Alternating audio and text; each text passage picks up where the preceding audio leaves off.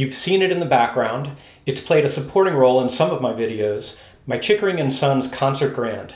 In this video, I'll introduce you to my most loyal musical partner and describe how I brought this piano to peak performance, including by making some modifications to the original design.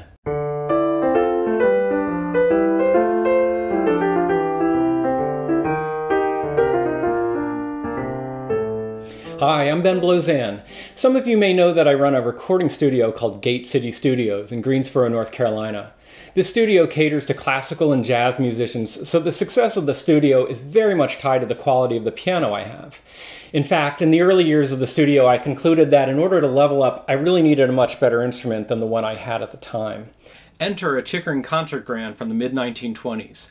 A friend alerted me that it was being sold online for $9,000, which appealed to me since equipment purchases and studio renovations hadn't left me with much budget. It belonged to a musician in LA, which meant unless I was willing to fly to California, I would have to buy the piano sight unseen. Super risky, right? Well, the piano was being brokered by Dale Erwin, a name you probably know if you're in the biz, but for those of you who don't know, he's a super well respected piano rebuilder and technician. I had a phone conversation with him in which he was honest about the fact that the piano needed a good deal of refinement, but that nothing really major was wrong with the instrument. Given my willingness to invest plenty of sweat equity, I thought it might be a golden opportunity to greatly improve my studio's piano. So I pulled the trigger. It took several months of painful anticipation, but finally my Chickering arrived and I could play my first note on it. The soundboard, despite being original, had no cracks, but still had crown. The pin block was also original, but the sized up tuning pins were holding fast.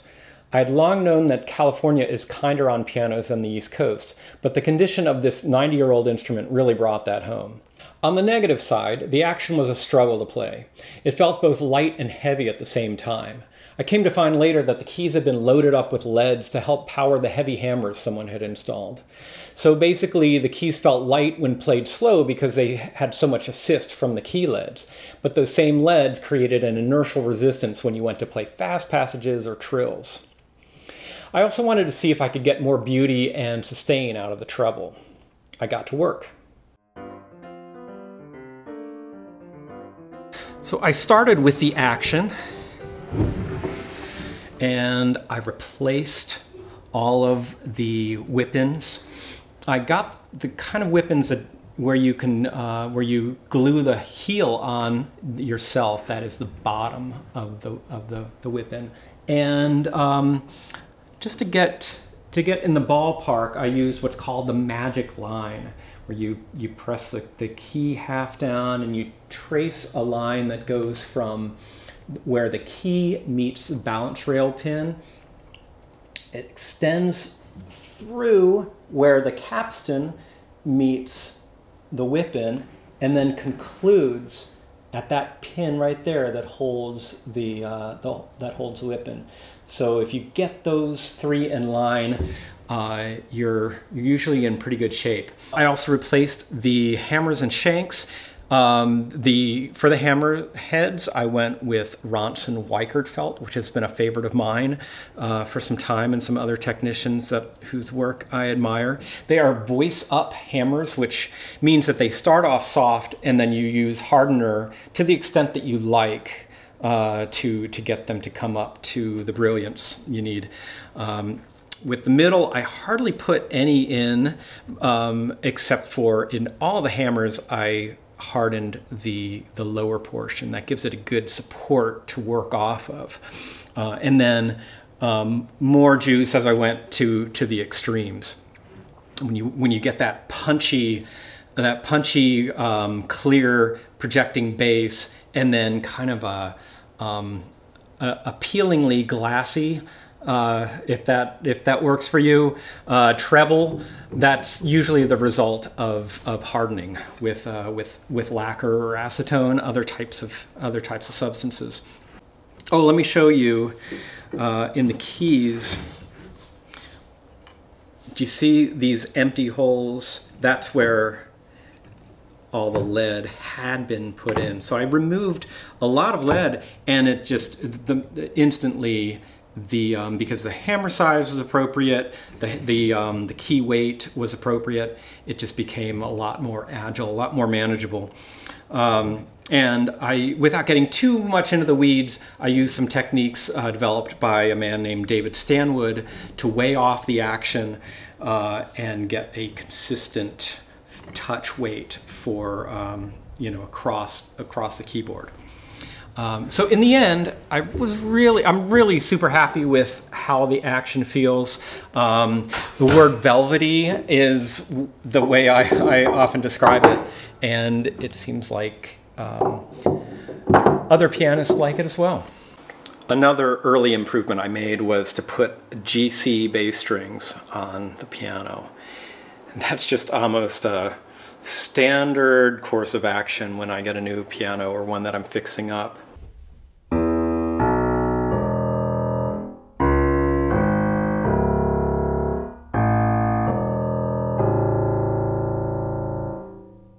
Bass strings are one of those great bang for your buck improvements that you can do on a piano. And um, amazingly, they, they help the entire piano because there's so much sympathetic vibration that, that goes on in a piano. Uh, so if you have really lively bass strings, that's going to help even your, your um, treble sing out more. I mentioned that I wanted to improve the sound of the treble. And even after I replaced the hammers, I felt like maybe there was some more improvement that I could make. Um, I noticed that the thickness of the strings on this instrument was thicker than um, Steinways and Baldwins of that uh, of the same size. You notice the 14, 14 and a half. Uh, these are sizes that are one size and sometimes two sizes larger than those arrived at by Steinway and Baldwin. And I thought maybe uh, dealing with the string scale uh, would would help with that. So I talked to a scaling expert named Arno Patin, and he cooked up a new scale for uh, for this piano based on his his research and uh, you can see my these new marks on the plate uh, are that recipe.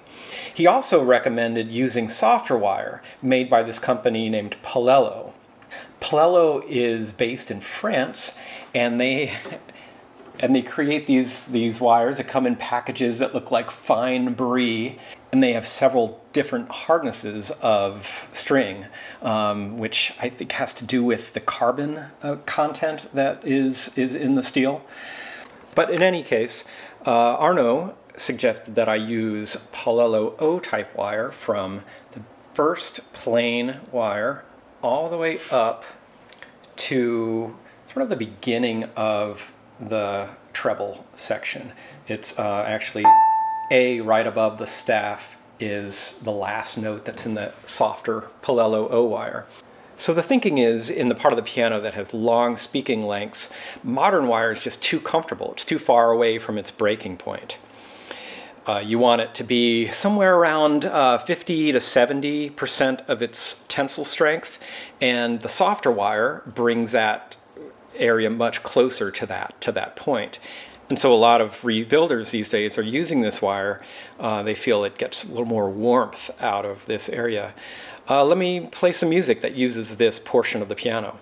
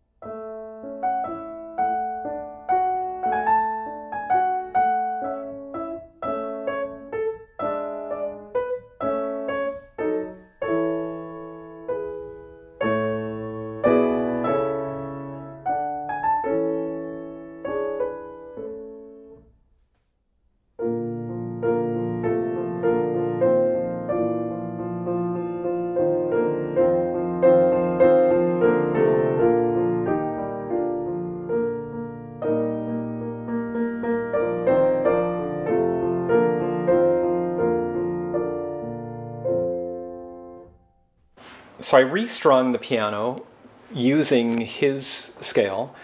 I also did something bold and asked my friend John Johansson, who's the owner of Mosaic Pianos and has been a guest on this show. I had him re-notch a certain portion of the bridge. Once again, I took a cue from Steinway and Baldwin and had John make these speaking lengths much more in accordance with the, uh, the, the lengths that, that those companies uh, arrived at in this section. And this is a crucial section. It's, you know, this F sharp to this E. And, um, you know, it does seem to have improved the sustain and the tone of that area. Once the piano was restrung, I was so much happier with the treble section. I think it amounted to an accumulation of improvements. We had the improved scale uh, in terms of the thickness of the wire and uh, John's improvements with uh, to the speaking length. And also I just think the, the wire itself was of a higher quality. So the sounds that I loved in the middle of the piano, the warmth, the clarity, extended from there on up to the to note 88.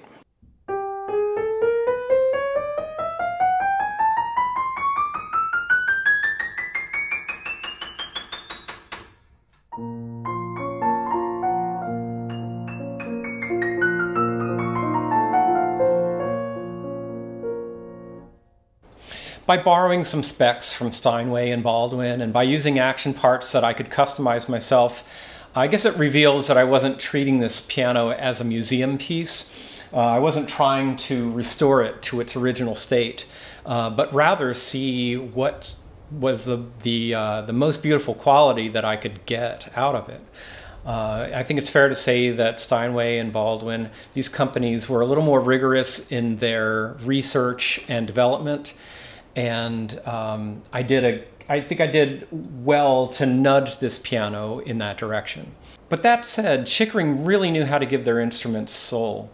And playing this instrument is a real treat because it's it's in that family of the American piano sound, but it's a little different. There's an exotic, kind of captivating quality to it.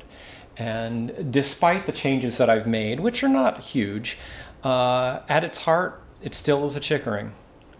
So although I continue to refine the voicing of this piano, the main improvements have been done for about about a year, and uh, it was a big relief how it turned out. Uh, you know, I was able to, at the fraction of a cost of what most concert grands go for, I feel like I have a sound that's kind of in the neighborhood of those of those pianos. You know, we're talking pianos that would cost, you know, sixty to one hundred and fifty thousand and um, you know for maybe like 13,000 and a lot of work um, I've I've got a piano that makes some really really classy sounds and so it's just been so gratifying to see how pianists take to the instrument when they come in for a session.